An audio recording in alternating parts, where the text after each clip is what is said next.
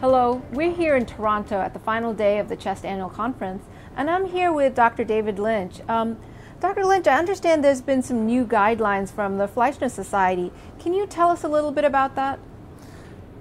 Yes. Uh, well, you know, there have been established guidelines for the diagnosis of IPF for several years now, and those guidelines are very helpful in implementing clinical trials and ultimately successful trials for two new drugs for treatment of IPF.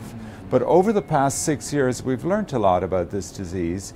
Uh, and we felt it was time for the members of the Fleischner Society to update the diagnostic criteria. And so uh, we produced this paper, which w- is in press in Lancet Respiratory Medicine. Hopefully, will be published in the next month. The paper offers several updated criteria for the diagnosis of IPF. In particular, uh, it recognizes a category of probable UIP on CT, uh, which has a very high predictive value for diagnosis of UIP.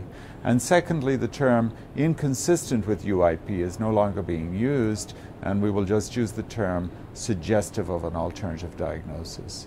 We anticipate that those changes, among others, will result in uh, the greater ability of patients to get treatment for IPF, often without a surgical lung biopsy.